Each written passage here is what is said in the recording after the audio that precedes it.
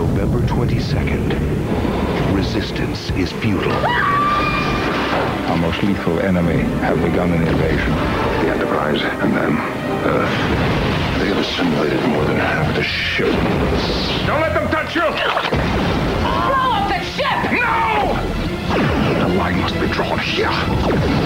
Star Trek First Contact. Rated PG 13. Starts November 22nd at theaters everywhere.